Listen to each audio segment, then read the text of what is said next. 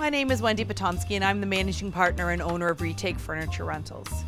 Retake is once again a proud supporter of the Canadian Film Festival and is working to contribute to the Canadian film and TV industry by making it an easy and sustainable place to do business. Retake provides sustainable short and long-term furniture rental options to meet production schedules and product needs. Retake also understands the importance of set design and the dynamic nature of the film and TV industry, which is why we created a company to specifically support Canadian filmmakers. Retake can assist you in setting up your production office with sustainable alternatives to keep your team working safely as we all head back to work. We use sustainable approaches to minimize product going to landfill, which means any product supplied by Retake is helping to support the circular economy. Our in-house upholstery services can tailor our product to meet your set design requirements and match your color schemes. Contact us to discuss your office furniture needs. Our goal is to help you get back to work as safely and efficiently as possible. Stay safe, everyone, and enjoy the films and shorts at this year's Canadian Film Festival. Celebrate Canadian filmmakers on Super Channel Fuse with an exclusive homegrown event. I'm ready. Go. The Canadian Film Fest presented by Super Channel brings this year's festival into your home for a second year as a virtual experience. Goodbye. Every Thursday, Friday, and Saturday night until April 18th. Enjoy the premieres of indie films and shorts from critically acclaimed and up and coming Canadian producers and directors. And this is where the donkey starts talking. Immerse yourself in this inspiring and spirited event, both on air and online, with live Facebook Q&A sessions that follow the films. Makes sense. Start it. Experience the Canadian Film Fest, proudly presented by Super Channel.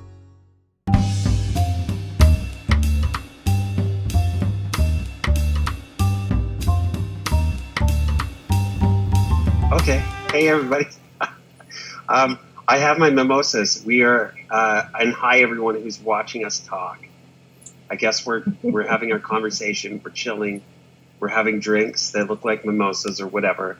Um, we're gonna go fast because our oh nice because our friend Mina has to hop on a ferry. So um, hi everybody uh, that's chilling and watching us. And um, Elan, Mina, what? Let's introduce ourselves to each other and to everyone, even though we know who each other is. Um, who are you, Mina? Oh, um, writer, director, um, beggar, financer, producer, trying to get, um, tr- trying to change the landscape of what we see here in Canadian film. and good at it. Sorry, hi, Elan. Elan.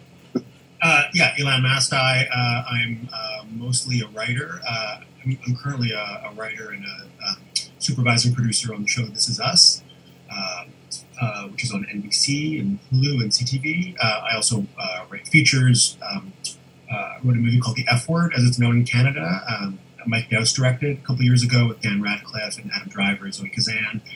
I also write novels. I wrote a book called All Our Wrong Todays, um, which is out a couple years ago, which I'm currently in the process of developing as a, as a TV series. Amazing. Awesome. And Cory, Oh, I'm tell Cory us a little bit about you. I'm Cory Bowles. I'm a, I guess I'm a multidisciplinary. I, I am a, these days I've been directing a lot of TV. I direct features, but I'm writing TV as well. And I wrote my feature and I'm an actor, one-time actor on some TV and all those other things that, that go in between, make music, choreography and stuff. So yeah, um, awesome. I'm all, I'm all excited because I, you know, I, I've been dying because I, I want to hold off any This Is Us questions. 'cause I- But I just want to be like, listen, man, let's let's can we just talk about things? like I can't. But I'm going Yeah. to I'm going to reveal a series of gigantic uh, twists that nobody knows are coming, but I'm going to seed them into the regular conversation, like the clues. So, so you won't even know they're in there. And then when the show airs, you're like, oh my god, he told me that, but I didn't know it at the time. You, you know what? This I will ask you this though, because I'm curious. Did you expect? um, because you have you been on the show since the beginning? No, I haven't. I joined the show No. a couple seasons in. Okay, so um, when you knew you were joining the show, uh, were you like, holy smokes, or were you like, yo, no problem, I'm gonna get this?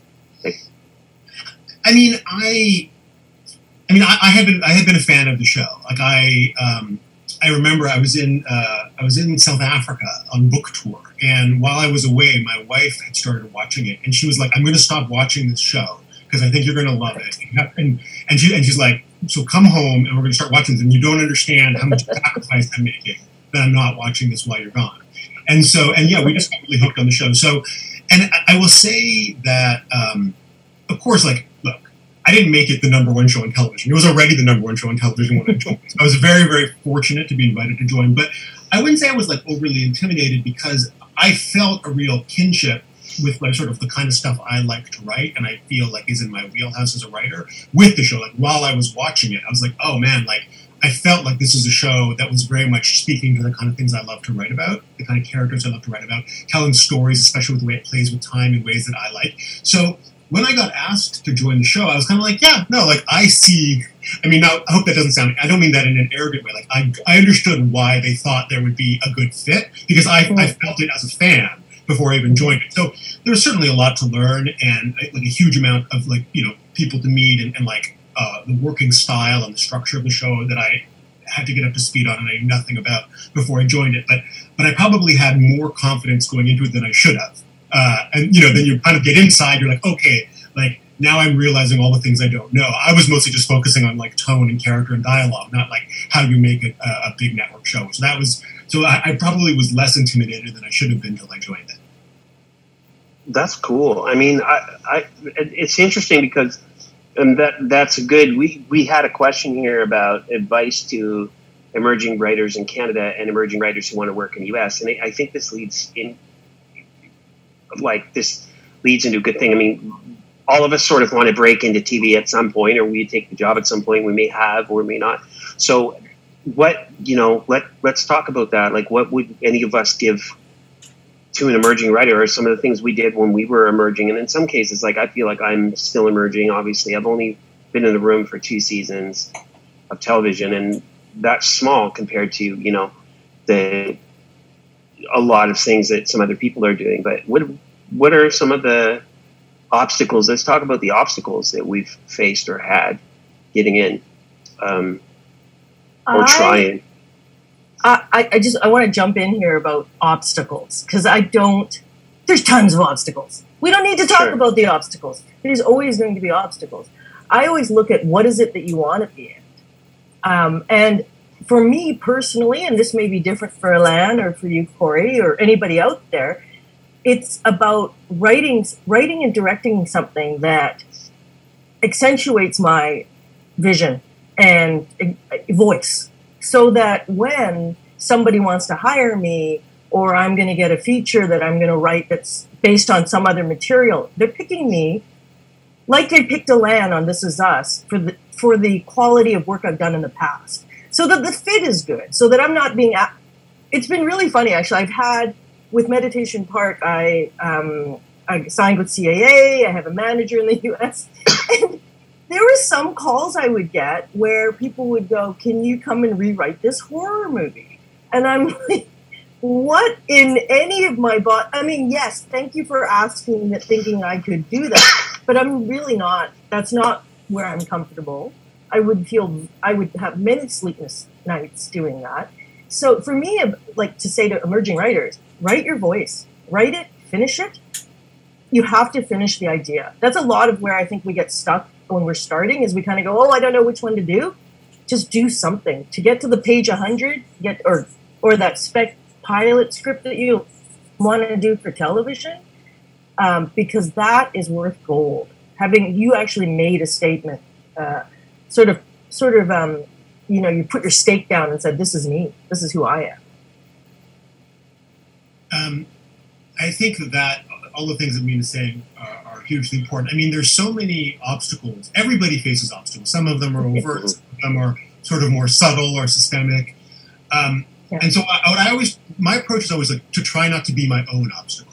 Like the world is going to provide more than enough obstacles to make it an, an interesting challenge to get anything made so I try to get out of my own way as much as possible and try to try to not be the obstacle because I don't I, like they'll come no matter what. Right. Uh, and I think just like you know, even if you are listening to this and you heard from our introductions, like we all do many things. I've also produced a number of movies. I'm a producer on the television show.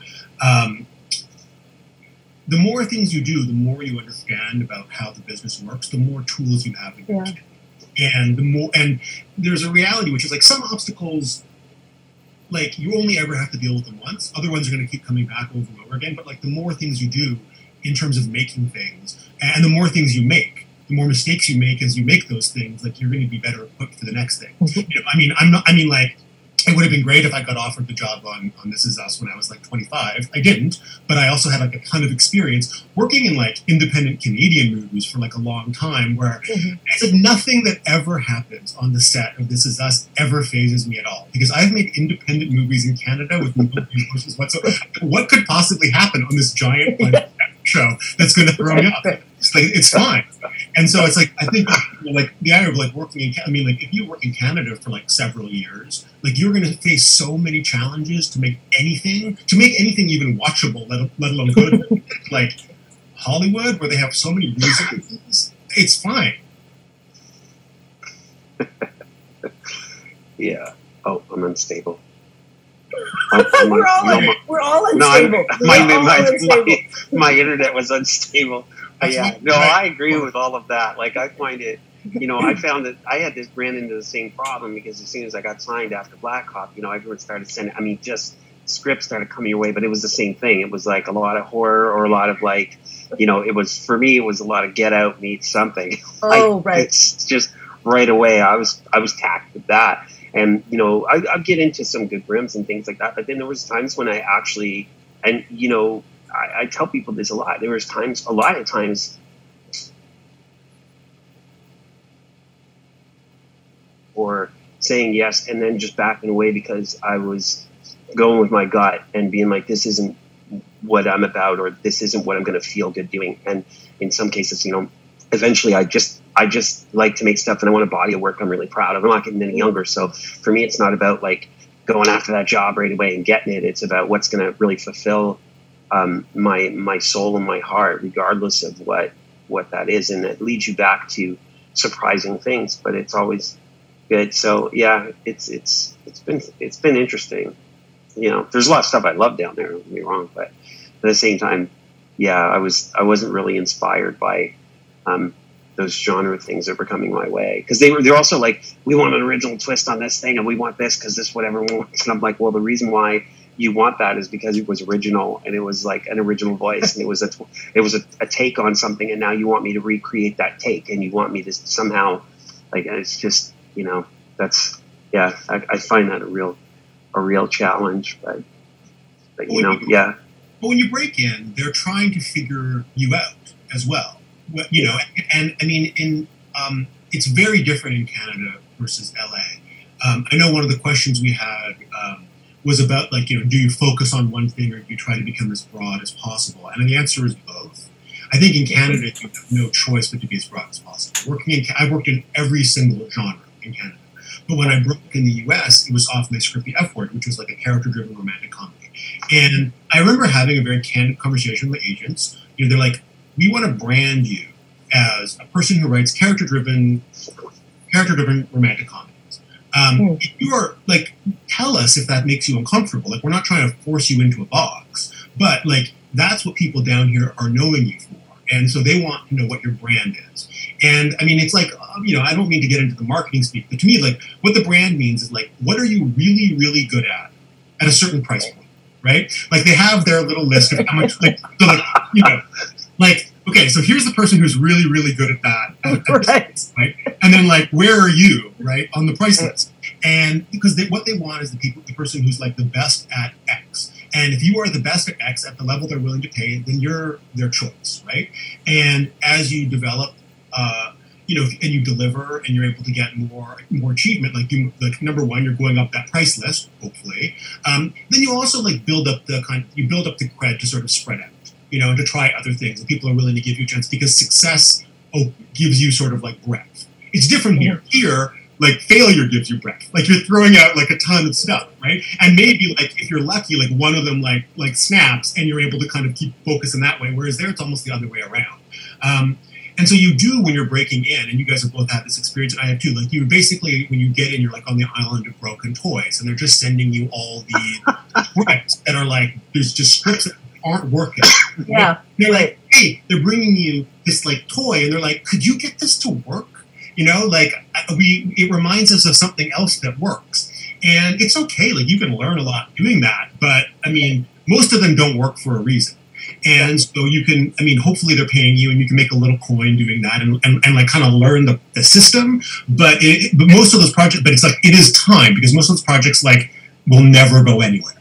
Um, and, and, and you know then you have to sort of decide like am i a broken toy mechanic or am i something else? Like am i a person that's going to do my original things or it's going to kind of like hold myself to a higher standard? And it's okay like like and, and so they're trying to go oh okay you're not a broken toy mechanic. Fine. Okay now we understand. So you're the, you're going to go off into your shop and you're going to make us an invention and bring it to us and we'll decide if we like it. That's fine. Now we know who you are. Yeah, that's interesting about the the invention thing because I, I always find that question about this. You know, this is what people want. They want something like this. Do you have one of this, or do you have something like this? And I always find that well, they they don't really know what they want until they see what they want, or they you know if something something works. So I always there's always that there's always that moment where you've got this stack of stuff you're trying to you're trying to shop or show, and they might not get it. They might go, oh, this looks like a Black Mirror thing, and all of a sudden there's something green lights you know, two months later of something that's kind of remotely close to what you might have, and you're like, yo, man, like, I just had a version of this, you know, like I just had a version of this, and you know, it's kind of like that might go because they trust the person more, like you said. It's it's someone is they're gonna they're gonna let them go with their invention, but they don't necessarily you haven't proven yourself yet. You know, I find that that's in a way I like that challenge. Like I I sort of you know if and if I do have anything that is remotely close to something that might be coming out, then I'm like, great, let's. I'm going to just flip this and change it and see what else I can get because it's always really about the themes as opposed to the concept. So for me, so yeah, but it, it's fascinating. Um, someone someone asked. Uh, I guess this is a similar question. They uh, they said, "What are the biggest lessons you learned when you started writing that every writer should know?" I'm letting someone answer that. I mean, I do think it is very much about finding your voice. Mina touched on this earlier. It's about finding your voice as a writer, and that that doesn't necessarily come right away. It's okay if it doesn't come right away. Um, there's a distinction between like like anybody who gets excited about wanting to make this their life, their profession. Like you obviously really love it, right? I assume. Uh, and so you know what really amazing work feels like. And uh, inevitably, when you start, the stuff you're making doesn't feel as good as the stuff you love. And one thing to keep in mind, of course, is that all the filmmakers or writers or direct, like all the people that you admire also went through this as well. You just didn't see their crappy earlier, right? Yeah. Uh, and, you, you, know, I mean, I, I, I remember saying to one of my film professors, like, you know, in film school, the only bad movies you ever see are the ones made by you and your classmates. You only watch masterpieces in film school, and then there's the crap you and your friends are making, and it just feels the gap feels so wide. But finding your voice takes time, and you just have to do work. And I think that the thing about finding your voice is it's the most creatively satisfying thing when you kind of really lock into it. But it also mm. professionally the smartest thing you can do because your voice is also like what makes you valuable. If you sound like anybody mm. else, what do they need you for? They're coming to you because of the specificity of the voice, because of the kind of like what's blazingly special and unique about your voice. That's what actually makes it worth it. Yeah, I find that's I find that's really interesting. That happens. That goes back to when they people first try to brand you. I find too is that you know I heard a lot of you are the Canadian this right. or the Canadian this, which is like well that's hey that's impossible. The guy's you know 20 years younger than me and has a totally different experience than me than Oakland and and someone from you know Truro, Nova Scotia. That's a, you know the only thing that really connects us is one uh, the obvious thing. But yeah, I find that that's that can be confusing. I, I think sometimes it can, and I find that really um, even even at this state of a career, like you know having a span of twenty years, it can still potentially throw you off for a minute. I, I think and that's the thing is that you know I find that I I got thrown off for a little bit trying to sort of fill that hole that was expected mm. of me. And it was it was fine to experiment with, but it also, you know, it also and I, I don't regret the time it took away, but it also showed me what I didn't want to do as well, which I, I think was pretty important. But in that period of time, I wrote a lot of garbage. I've written a lot of garbage scripts. Like I, I think, like I, I've had, all, I've gotten jobs where, um, where someone would be, you know, you'd get hired by a producer to be like, I want you to write this thing that's a version of this thing that I like, or this story that I like, and I want you to write it. And the, I can't really write it what they want because I don't have their experience. So I can only approach it in a different way. And you come back and they're just like, what, what is this garbage? Like, what is, you know, and I eventually think it's really good. you know, I, I walk away for months feeling like I'm a terrible writer. I'm horrible at my job. I'm like, why am I even here? You know, and Oh, eventually oh, like, think- yeah. Cory, I think that's everybody goes. Alan, I'm sure you go through that, right?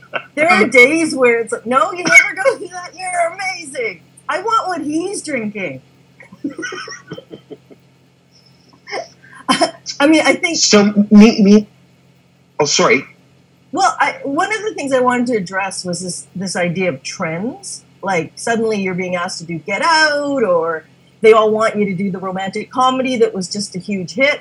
I have always um, I learned early that once they name a trend, like for instance, it's vampire movies this week. We want vampire movies. Once they're asking for that, they're late. Like if there's a vampire movie out in the marketplace, you don't want to be making a, a vampire movie unless you want to be making it five years from now. Because once you polish that script and you you've unbroken the toy, it's just not going to get made because there's just the market is you're going to hear. The market is saturated with vampire movies. I, I mean, in television, I hear a lot.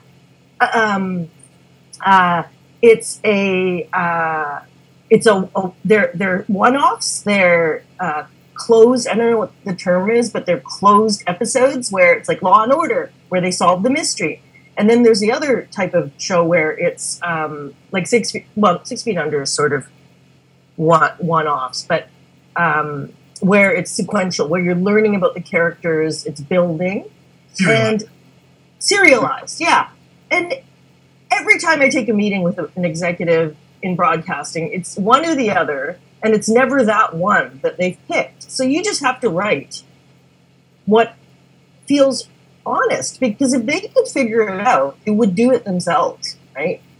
You're the as the writer, as the creator, you're the conduit with which they're looking that you're presenting the world to other people. So it's through that magic that that soul that you have that that's going to crystallize by by being um, pulled and pushed by trends.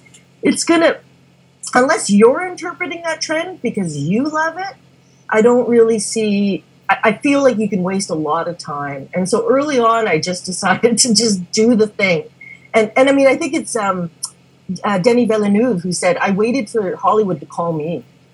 because there is a little bit of that. Like you want to be wanted when they want you. You don't want to be going hi, hello.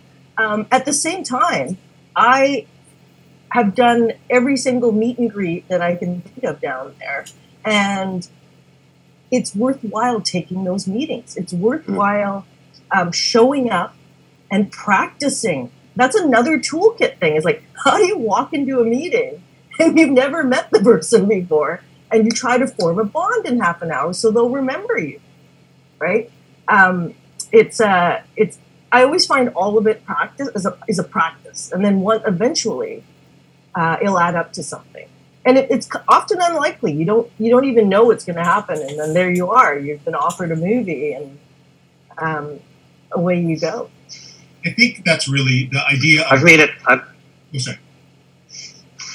oh no, go ahead.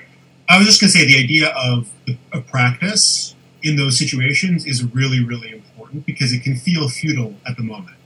Uh, but like I've done hundreds, probably over a thousand demo um, and most of them go nowhere. But the ones that surprise you by going somewhere and you kind of never know, those can Yeah. become, lead to huge career-defining opportunities. And that's sort of the weird crapshoot, the, re- the weird kind of dice roll of Hollywood. It's it's as big a casino as Vegas in its own way. Um, but you do Right. by doing these things, you get experience. Even the even the putting yourself up to be the person who's going to fix the broken toy script. I mean, you can learn, you can waste a lot of time, but you can also learn a lot about how to fix something that's broken that you can take to your own world. right Um, and just like all those meet and greets that you do, the what they call what they used to call the uh, the you know water bottle and couch Water ball tour. Water bottle tour. on Zoom now. but um, yeah, um, you know, doing that, allowing you to kind of like figure out how to talk about who you are, um, to kind of like connect with people, figure out what it is that you can connect with them about.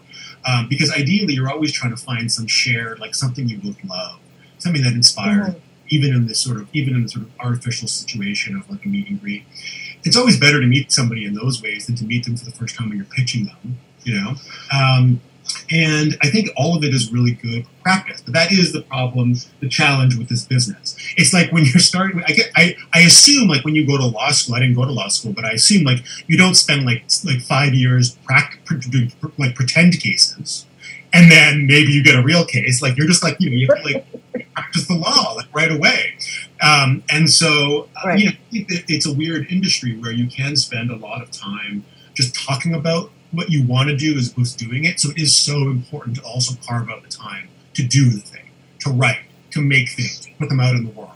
Um, all of us are here because, in addition to kind of like playing that game, we also just made things and put them out in the world. And as Mina said, like um, echoing what Denis said, like if you make something, you put it out there, and it's good enough, they call you.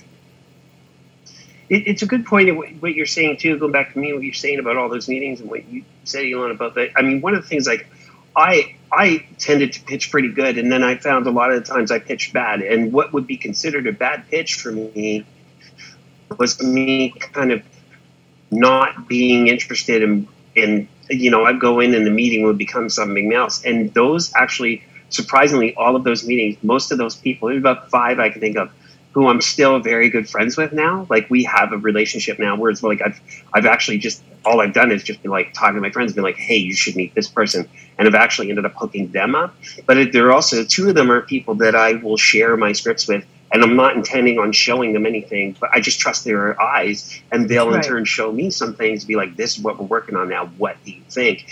And in that sense, that gives me so much. Uh, so much valuable experience too because I've got these pitch decks or I've got this like new one pager of this thing they're looking at right now and all of a sudden i'm like you know i'm computing what he thinks about it or she thinks about it and it's kind of a it's kind of a really neat place to be in in a in a trusting place and that's another advantage of you know getting in those rooms and getting in those spaces and having those relationships is you're privy to that information but they also trust you know that you're trusted with that.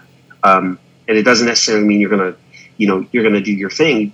It just means that you know but you also know that you the door is open for you as well, which is which is pretty pretty cool to find. It's nice to have that relationship.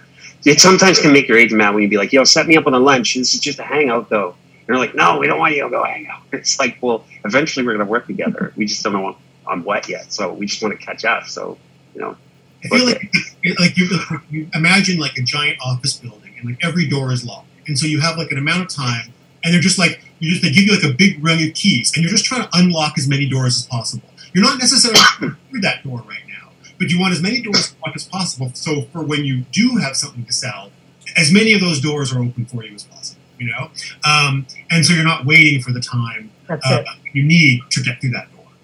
yeah, that's good. That's good. hmm Maybe in this So- building is on fire and there's wolves loose in the building.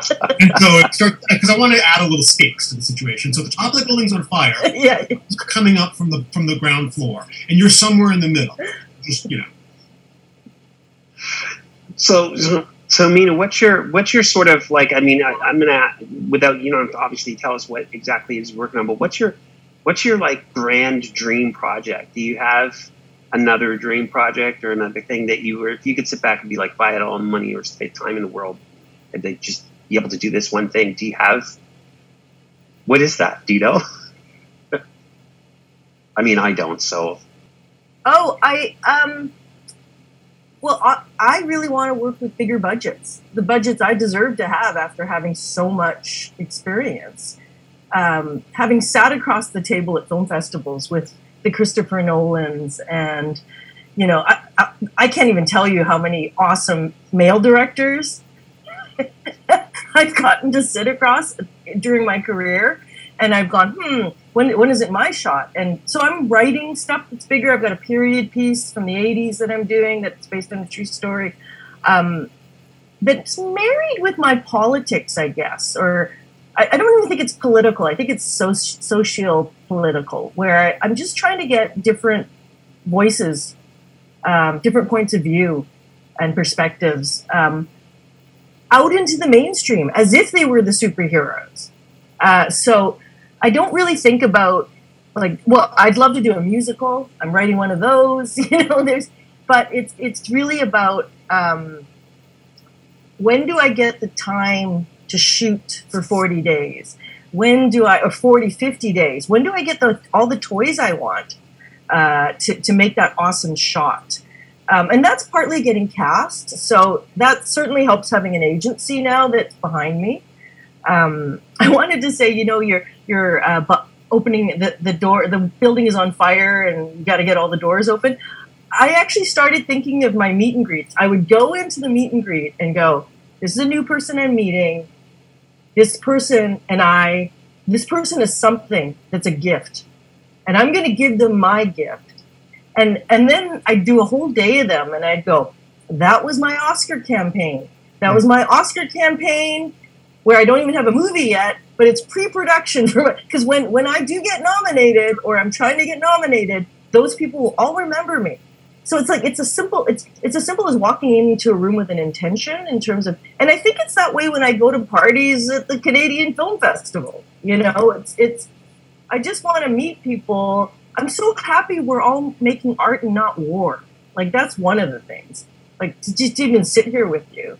Um, but so i don't specifically have like the dream project. Um, i've been very lucky to be able to realize uh, the stories i have so far. So i just want to keep building on that I feel like it's two two prong what I do. It's like I, I write stories from a certain perspective that are untold, but also me sitting in a chair directing tells a story. Um, and so it's I, am trying to like do both um, in different ways. So that's that's interesting. Like I, I mean, do you when you're writing, are you writing? Are you writing? Are you? you I guess you, you just said that, but are you thinking of how you were going to shoot something? Like someone wrote a question here about you know talking about a cameo or location or permission or considering budgets when you're writing a spec are you thinking about how you are going to direct that? Or are you just writing the actual story first and then putting your or are you going both as if yo i'm directing this tomorrow and this is what i or this is exactly what i want it to be or can i do this? Are you thinking of what any limitations is or any permissions? Are you just going with i'm, I'm putting it all in the paper? I'm putting it all in the paper yeah, like for instance, if I want to start um, with archival footage from NBC on a period piece to set the tone, I'm just going to assume I'm going to get it. Um, I've also read scripts where uh, the writer has a has a, a, voice that says, "If we have the budget for this song, this is the song. The Bruce Springsteen song is the song I want." Right. So, and that works in a comedy, but that kind of breaks the wall would not really work in a sort of serious drama, let's say, right? Um, I, but I do think the way I'm directing it is part of the way that's the that's the unique voice in it. Um, so I don't I don't hold back, and I do think pie in the sky. I, I I don't think about budget. It's two different hats, right? When you're when you're writing, you write like the world is your oyster, and then you you get you, you know you find out your budget. You've only got one day to shoot that entire sequence um, and you start modifying. But don't I don't limit myself when I start. Other people have tried to limit me. I'm not going to be the person who's going to limit me at this point. Yeah, exactly what Mina said. I mean, there's no reason to yeah, that's cool. back in script. Just write the perfect version of it because yeah. you, uh, because like let me let, let, you in a little secret. You're not going to shoot the perfect version of it. Yeah, uh, and it. So no, nobody is going to uh, reject your script because of something like that. If you're lucky enough to get to the place where you're actually making it, and you have that you'll sit down with your line producer and your producers, and and you'll figure out what you can actually afford. Um, and that, but that's like that's like when everybody's already committed to making. Yeah. I think that's what so many so many I think newer or emerging writers are afraid of is that sometimes they'll get they'll get some some mentorship or some guidance where they'll say there's no way you can do this or the first thing they're going to look at is, oh, you've got a helicopter scene in here. That's not going to happen. Can you write it a different way? And I think that that I think that that leads to a bit of confusion to some writers of you know getting their voice out there or getting the thing that can be made out there, which I think is is pretty tricky, especially up here. Um, Well, that's what I always I- hear from people anyway. I've never really written for a budget. that, Cory, when I hear you say a producer's going to say there's a helicopter shot in this and you can't afford it, I'm wondering as a writer, what is the real note? Hmm. What's wrong Yeah. with the story? What's wrong with the Yeah. story? Why are you Yeah. picking on the shot at this point, right? Yeah, Yeah. I will also say, let me say two things. Number one, any producer worth their salt wants to raise as much money as possible to make Yeah. this movie because they get paid a percentage of the budget of the film. So, so like if you, if, I mean, I've written scripts where we ended up making it for much more money than we thought we were going to, and guess what? Everybody gets paid more. Uh, Yeah. that's, why, that's why you're that's why you're you're paid a, a percentage of the overall budget um, with a flat fee. If, you know, you can't go or the floor, or you can't go below that because the sky's the limit if you raise the money. I mean, I wrote, I, you know, I- I've written movies that have attracted gigantic movie stars, which suddenly tripled, quadrupled our budget. Mm-hmm. Um, so, so don't worry about that helicopter shot. I mean, worry about what what Mina is saying. If the helicopter shot is is like spectacle papering over structural or character problems, fine. Um, but yeah, don't worry about that. Don't worry about that kind of stuff. And the other thing you have to remember is when you're starting out, your script has two functions. One, look, of course you want to get it made. Obviously, you want to get it made, but you also want people to read your work and be excited. Okay, you want people. I mean, nobody gets excited when they read a book, read a, a screenplay, and they go, you know, I was reading the screenplay and it seems very, very producible. That's not what they're excited about, right? Uh, what they're excited about is if it blows the doors off creatively. Uh, if it's doing something, if it's like exciting, if there's a vibrant voice, if it's doing interesting things structurally, if the character is riveting and they're like, this is like a movie star part, if the ending is so surprising and yet inevitable and leaves them feeling like like the satisfaction of a great story well told, that's going to get you another meeting. That's going to get you a job offer, even if that movie never gets made. And of course, you hope it will. So, I mean, like, don't limit yourself. I mean, it's like I read these scripts that people send me, and I'm like, let me tell you what limits you spelling mistakes on page one. Okay? Proofread your script. Make sure that there's not a single mistake in that script. And I don't care if half of it takes place on the moon. If it's, if, if, but if you spell the moon wrong, I'm going to feel like you're an amateur. I, I also think um, for hyphens, writer directors, the the mistake many emerging writers start with as a director is they write all the shots in. They write in so much detail. Uh, when I'm writing, I am literally writing for the reader. Yeah. I'm writing to tell the story as if I was going to sit down with you, Cory and Elan, and go, here's the movie that I'm going to write. Here's some sample dialogue. But I try to keep it. Um, I try to keep it tight.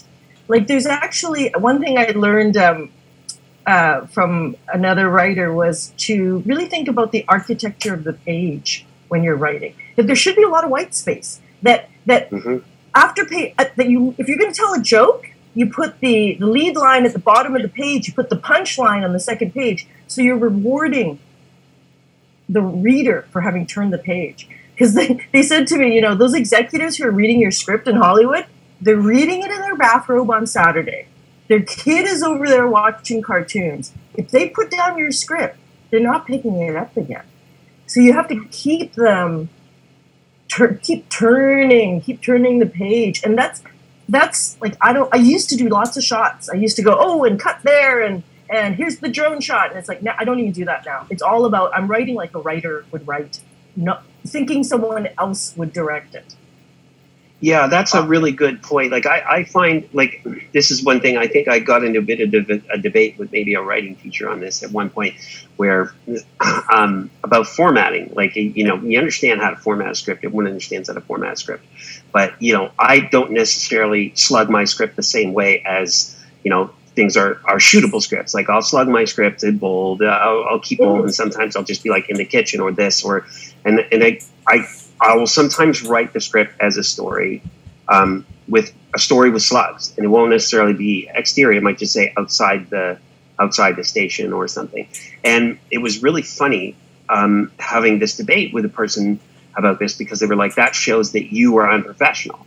But it's like, but um, but I'm like, you know, I've also been in a room where we've you know we've structured TV shows differently, or you know everyone has their way of writing, and if you, it doesn't mean you necessarily don't know what you're doing, but it makes for an exciting read. But also, I feel that it's great because I wrote Black Cop the same way. Like I feel that that shows people exactly what it's going to look like, exactly what it's going to feel like when I shoot it, and it's it's my voice. Like that's how I that's how I write, and that's what they get. And It would be nothing for me to just you know slug it normally and be like dash slug dash boom day. No no mm-hmm. problem. But as that first time read, give them some. This is what I give them. This is what they get, and I'm not really worried about that. Like I'm not worried about you know I am worried about the spelling though. I am worried about the grammar.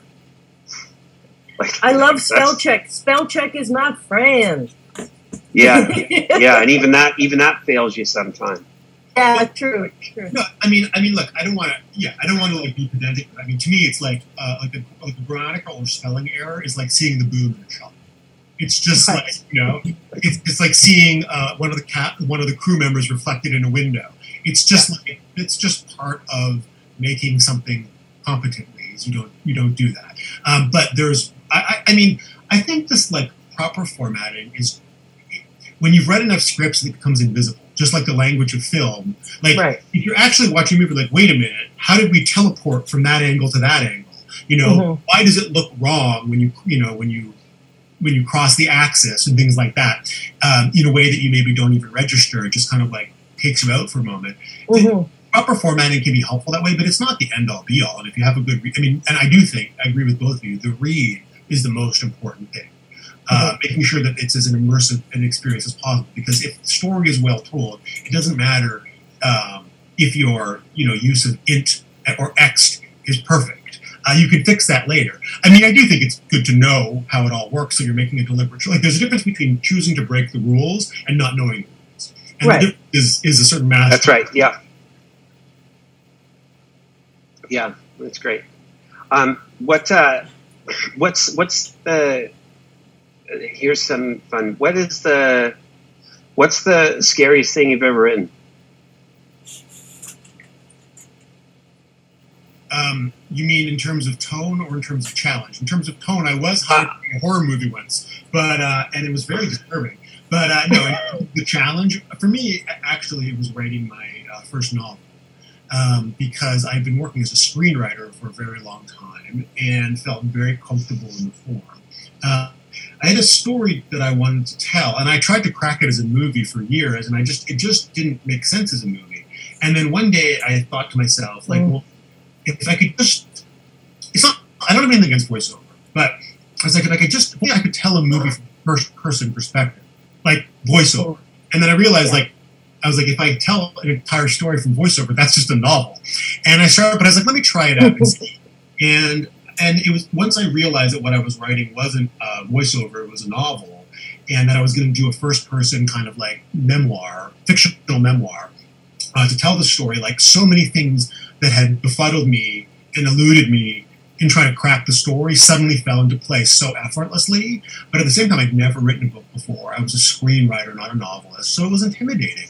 And also, like, let's be clear, no one was asking for a novel from me, right? It wasn't like people were, like, the publishing world was banging on my door, being like, you know, we know you've worked in screenwriting for a long time, but uh, have you ever thought about writing a novel? Um, so I knew that it was going to take a long time, and it wasn't going to be something anybody, like my agents weren't going to be like, oh, how exciting, you wrote a novel. Um, Right, now, in the end, my agents loved the book, and we sold the rights, and it actually, and, and because unlike a screenplay where you don't control the underlying material, I created the IP. So, you know, as we're developing it as a TV series, like I control the underlying material. It, like ultimately, it's my decision what happens with it. Um, and but but it was intimidating because I was challenging myself. I was also I've been writing a lot of like comedy and drama, but very grounded, character-driven stuff. Suddenly, I was writing science fiction again, Mhm. very off-brand. It was a relationship story wrapped inside a science fiction story. Um, but I just, but you know, for me, it was like I had a story to tell, and I felt like I equipped myself as, as a writer, so I had the tools to do it. And I just, there is something to be said, especially the further you get in your career. And I know this is less relevant for emerging writers than it is for those who've been doing it for a while. To kind of keep challenging yourself with things that Yeah. s- straight up like a money decision, that aren't a professional decision, to write something for the love of the game, because it's really easy when you turn the thing you love into your job for the thing you love to become eroded by all the professional necessities. And so I, I love just writing something that has no dollar value to it that I just need to write. Sometimes you get surprised. My, my book did very well for me. Uh, it was a huge boon to my career, but I didn't write it thinking that, that would be the case, just the opposite. It's probably why, I mean, it's a great novel, but also it's probably why it became a great novel. You were writing it. I always think about intention. Mm-hmm. Like when, when you're writing, why are you doing it? And it's, for me, it's never the money. It's often, often the challenge. Um, so, to, so, you know, to jump in with like, what's the scariest thing I ever wrote? it's always the blank page the next script is really friggin' scary and I, am in i'm in the middle of that right now i'm in the middle of a new movie that i'm not sure i love the character. Like i actually think i might have started with i might have to do some open heart surgery and i'm just i'm when i get back to vancouver i'm going to try this other tactic with the character. Um, but i also just finished a five minute short for um, a collaborative project on covid uh, that ingrid veninger put together. And I decided it was a it was uh, nine women in isolation all over the world, filmmakers who were just going to tell their snapshot of what whatever they wanted to do, and we are going to piece it together as a feature, uh, as a global um, time capsule from a female perspective. And I decided to make um, a fiction film, completely narrative, but with nobody in it, hmm. so that the, so that the audience is putting the lead characters into the shots, right? So Greg Middleton from um, Watchmen and Game of Thrones and I, we're stuck in isolation. We're really good friends. He goes and shot, shoots a scene with me. We cut it together, and because it's so tricky making a movie with no one in it, we got it wrong. We had to reshoot it.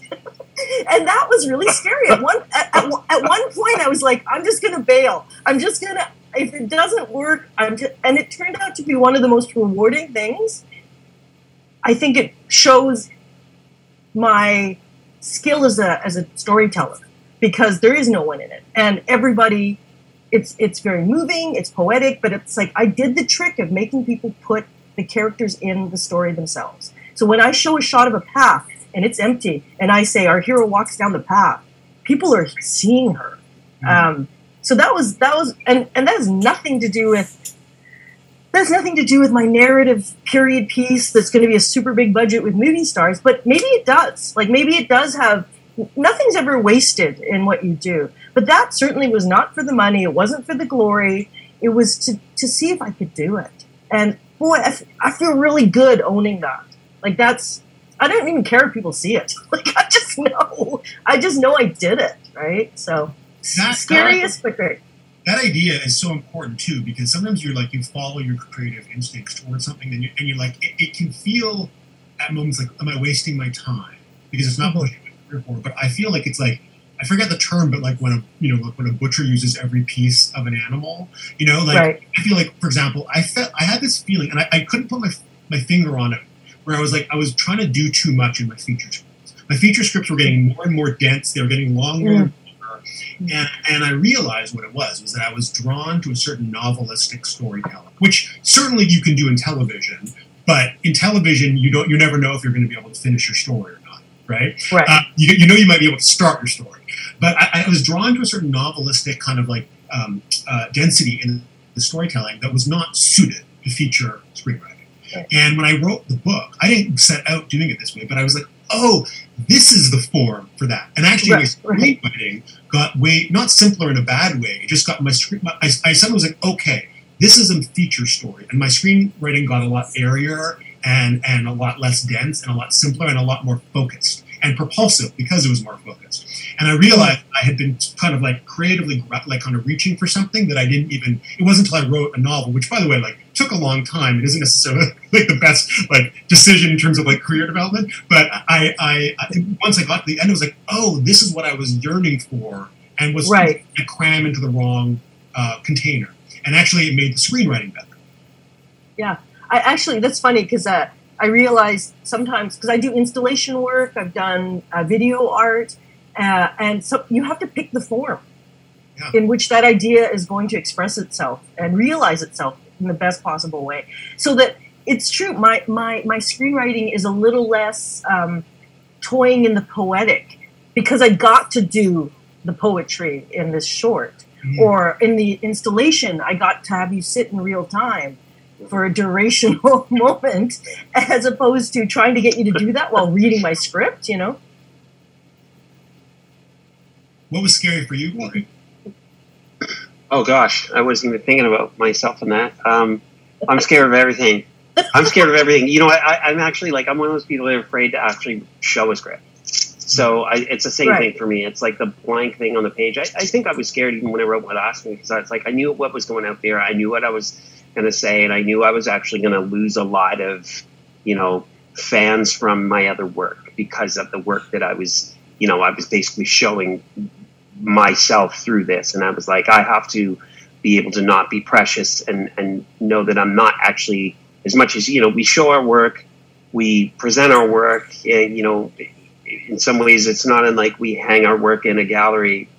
It's just that I'm going to lose a certain amount of of of people that have either thought they liked what I did or you know had supported what I'd done. I knew I was going to lose a lot of them because of that um, just because of the nature, and I'm saying because of the nature of, say, some of the fan base that's on a show like Trailer Park Boys, and and the, you know, we get a very, um, I'll say, a, a very, in some ways, closed-minded and, and volatile group of people who um, have very heavy opinions on the type of thing that I'm, things I work on, and I knew that I, that I was going to lose that, and you know, I certainly don't think any of the fans or people are, are bad people but because I still want to entertain them or want to share something with them. But I was just like, I had to let that go, and you know, and and and you fear that you know it's not going to be taken in any way. Um, you know, I didn't know if I was doing the right thing. I guess that's that's sort of always the way it works with me. I, I was going back to on on something you were saying earlier. I, I had a question for both of you. Um, thinking about this is like when you were talking about you know keeping the integrity work and going with your instinct. Do you ever find that notes can? Have you ever experienced that notes, or or have you ever faced the idea or had to come up against or make a decision about notes that you received that could have actually thrown you off your original purpose? Um, and what's the what? Where do you define, or when do you differentiate the idea of notes being um, productive for you or detrimental to the work that you eventually will finish? Well, often, I'm, if I give a script out to you, for instance, to both of you, I am not looking for you to tell me how brilliant I am. I'm actually, I've got questions. I've got questions that I'm, I want, I want, I- I've got questions for you about whether it's making sense. Do you like the characters? Is the, what's the theme that you get out of it? So, so, um, it's, I never throw a script out going, I don't know. I always kind of know that it's, it, and the first draft is never perfect that's the thing the, the preciousness of that script. What you're looking for, I mean you've all heard this is is um, uh, you want to you want to get the common thread of the note. You want to get the note behind the note.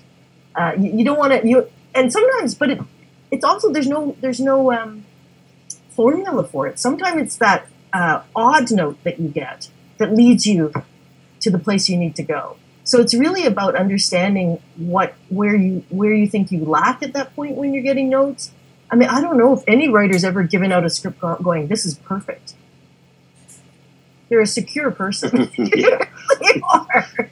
Yeah, I mean, yeah, like for me, because of the quality of my work, I can get notes. Uh, no, I'm joking. Um, the uh, the I was like, "Oh my goodness!" the you know definitely to what Mina's saying, you're seeing if there's a common thread, like you're getting this like because there's you have to take the difference between like taste and interpretation. You can't argue with taste. You can argue Yeah. with interpretation. I take that to everything in my life. You know, if somebody loves a movie that I hate, we I'm not going to change their mind, but we can argue about what it means. Um, but with notes, you're, so you're trying to say like, well, this is just this person's taste. You know, they don't like this, they don't like that. Um, but when you're talking about interpretation, then you can kind of like get into like, well, what do they think this means? What are they not getting?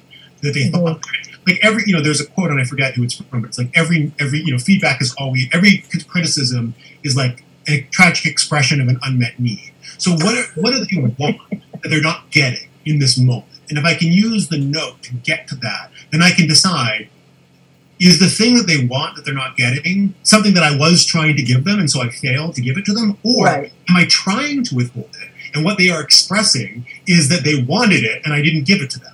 Those are both valid. I'm trying to figure out which one it is, right? Right. If, like if I'm, you know, if like I have a child and I'm attempting to like teach them a lesson, I might do it by telling them a lesson, or I might do it by withholding some information. Like what what am I trying to uh, what you know what am I trying to give them? And so because of that, I, I'm always kind of looking at exactly what Mina said, the note behind the note. One of the things, you know, it's like it's like you're, you're it's like you're in surgery and you know you're both the doctor and the patient right but someone's telling you know someone's telling you like i feel a pain in my knee and your job is to figure out well is it the knee or is it, is it the hamstring Is it the shoulder That's awesome. is it in your brain like you're trying to figure out what this what the problem is often an, an, uh, like if somebody says the third act isn't satisfying it's not the third act's the problem it's actually you didn't set it up properly in the first act or you didn't complicate right. it in a right. in the right way in the second act. So you're just it, so I, I listen to all notes because I'd rather get a Good. note in screenplay than like when we're testing the movie when it was released because it's a lot harder to change it that. That's Just right. right. One second. Here's a note right now. Mina's got to leave to catch her ferry. You got to get out of here because we are just you were starting to get a little close on your time. So, um, we Yeah. uh, Elan and I will stay on for two seconds and we'll let you go and say All right. goodbye, and then we'll say everybody. Thanks so Thanks much. for hanging out. It's always nice to talk We'll to talk you, and yeah, you're just so great, and yeah. Okay. Lovely to Yeah, see you. You too as well. Yeah. Take care. Awesome. Well, that was awesome. I love Mina. Um, did you know each other before? Uh, yes, Uh, we know each other from Vancouver. We're both from Vancouver, um, and so the Vancouver filmmaking community is a pretty tight knit group. That's nice. so you you kind of meet everybody uh, eventually.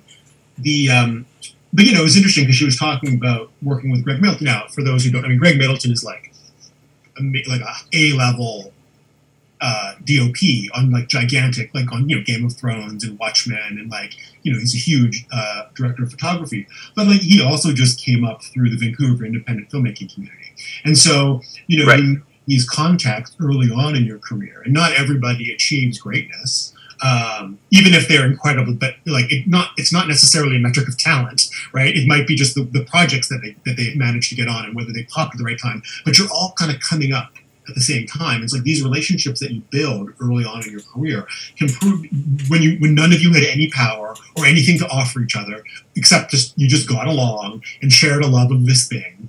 Um, that those are the people who become your peers as you go through. That, I mean, one. I mean, it wasn't a strategic decision when I was coming up, but like I definitely love to get to know uh, cinematographers, editors, production Yeah. designers, uh, directors, not just other writers. Because I, I even with that, I mean, I love talking with other writers, but I was also like, you know, it's good to have like a broad group of like of like it's like a broad crew.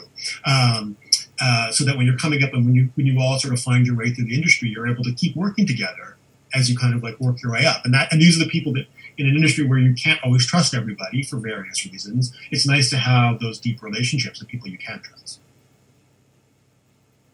Yeah, yeah, true, true.